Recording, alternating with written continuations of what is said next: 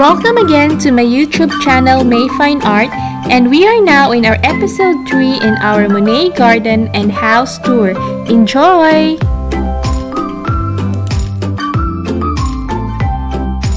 So guys, we're just walking along the pathways here.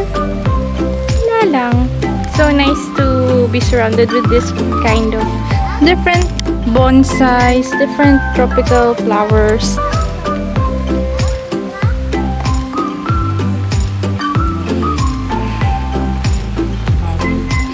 This is a nice um, uh, tour for those people who love who love flowers at the same time who loves art. So I observed that there are flowers that I saw in my own country, tropical flowers.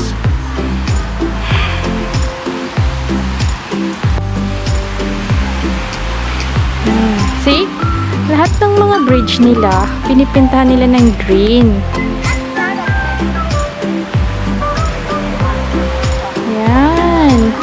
Nagsimula tayo doon.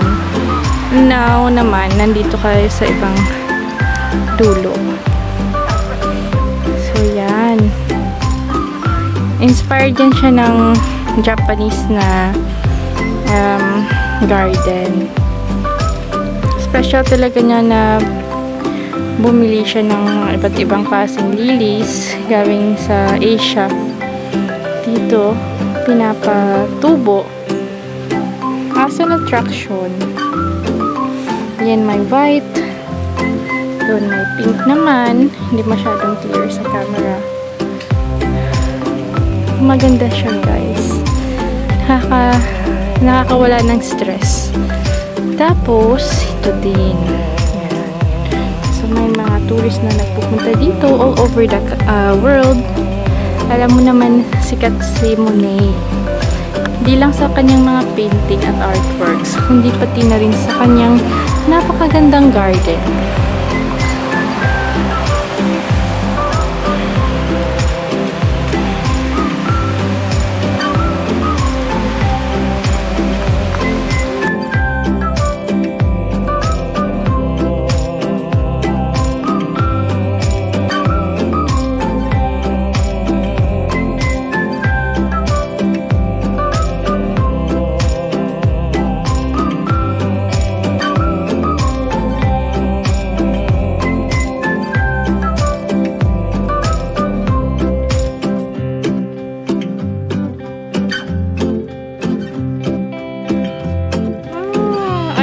I noticed this plant. They're so pretty. They're just a very small plant, guys. my god, I'm really amazed the different kinds of flowers they have here. And how they maintain all of them.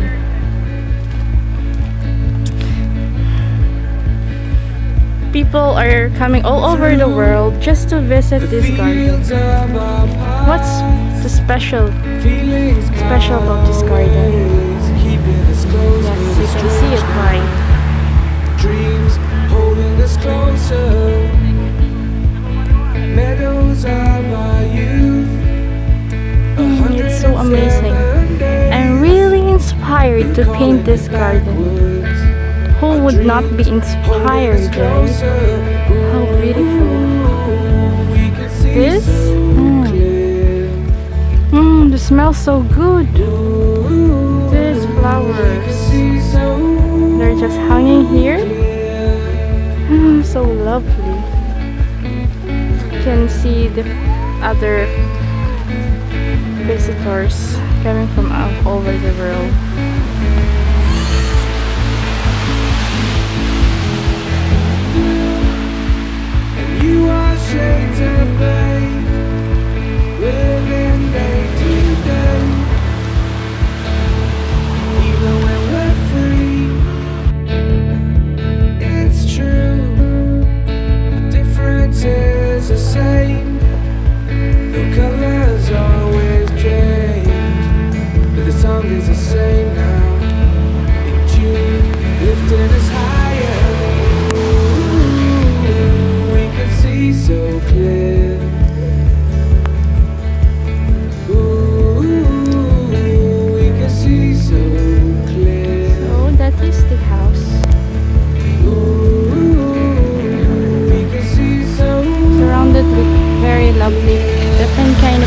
flowers. Oh my God. Ang ganda-ganda nila. Ang ganda na mag-walking dito. Merong climbing roses. Ay, ba't ibang klaseng bulaklak?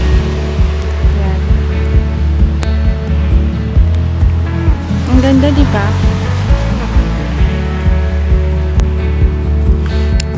At ito yung roses na pinapa-climb nila. Yan. Hindi pa siya namulaklak or tapos na yata. Last spring. May mga sunflowers.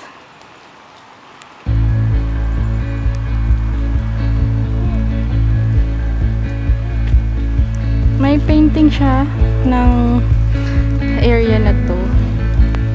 Ang ganda.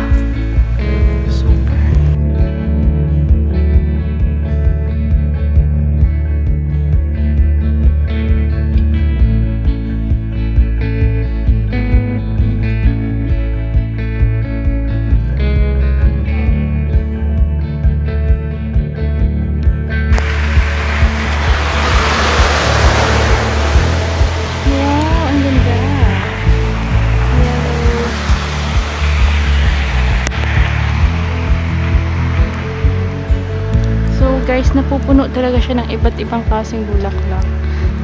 Hi, ang ganda dito. Super.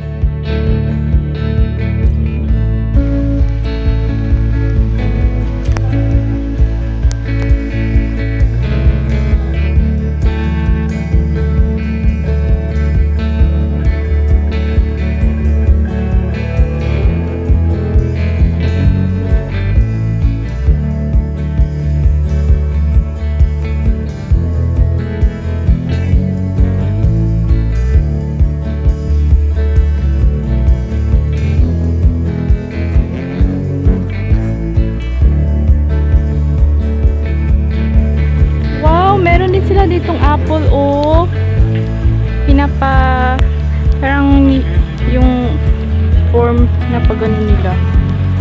See? Maliit yung mga, um, hindi naman siya ganun kalaki. You know guys, I am really inspired to be here. To have an apple like this in the house. Lieverd, we kan deze soort van appel en hekken van maken. Hè? I mean, you can make um, a gate, house gate, and put it. Oh, sarap naman. Ang sarap. Napansur. Hey, lieve kus.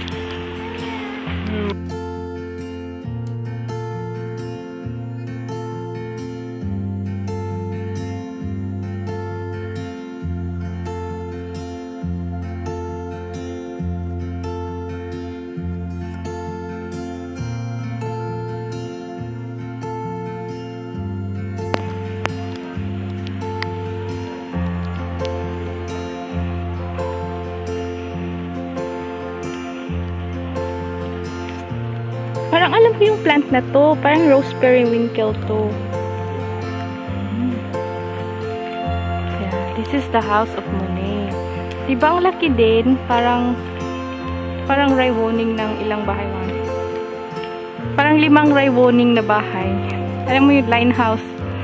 Dito kasi sa Europe, marami yung mga line house like sa lugar na sa Belgium. It looks like a five line house.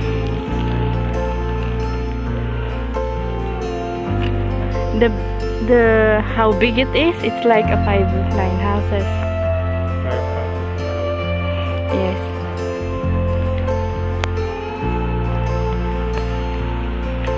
So guys papasok tayo sa loob. At before that magpapapicture muna ako. Okay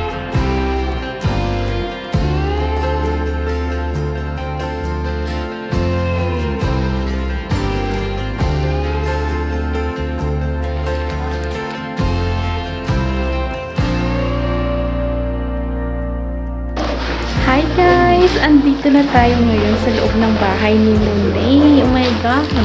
Living room niya to, guys. At saka, ang dami-dami niyang painting. Super. As in, parang unbelievable talaga.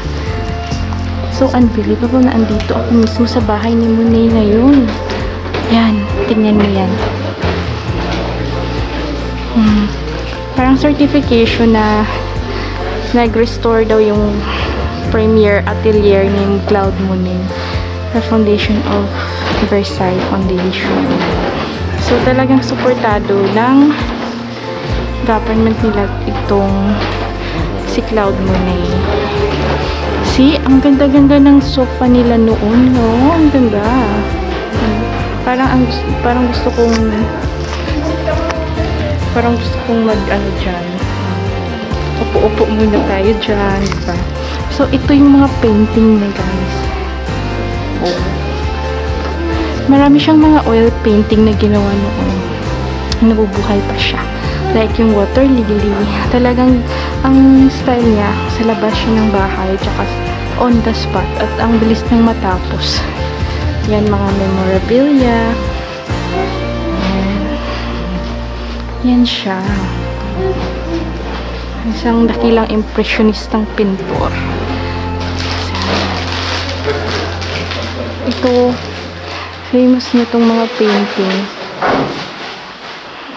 Ito. Yan, noon. Anak niya noon. So, guys, every year, ang dami-daming taong pumupunta dito para lang makita ang kanyang mga obra maestra. Yan, ang famous niyang asawa, pinipinta niya in different kind position at saka different kind of lights. Lapitan natin ang mga paintings niya, guys. At tingnan natin bakit siya special. So, yun, yung style niya, parang yung paint niya talagang galing mismo sa tube. Yan. Tapos, direkta niyang nilalagay. Pero pag tingnan mo siya sa malayo, iba yung effect compared sa malapit. Mga style ng damit nila noon, iba din, di ba? Tsaka ito, ito yung famous na ano nila dito, yung beach nila dito, Et Eterat. Pupunta tayo dyan mismo bukas. O, di ba? Ang ganda. Enjoy na enjoy tayo. Ito. So, makikita mo talaga yung stroke ng pagpinta nila, guys. O, ka. Focus ko ha. Yan.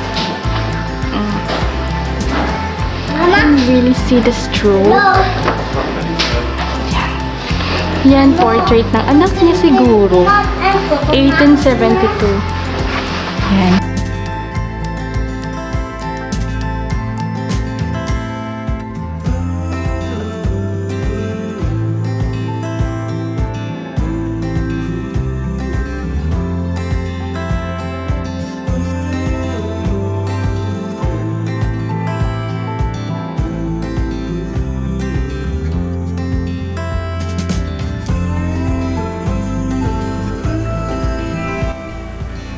So guys, that's the end of this episode and I hope that you enjoyed our tour in Monet's garden and also inside of his living room featuring different kinds of his masterpieces.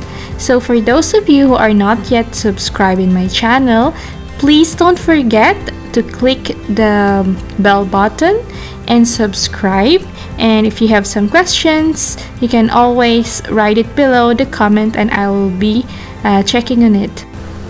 Thank you so much for watching this video and see you next time. Bye bye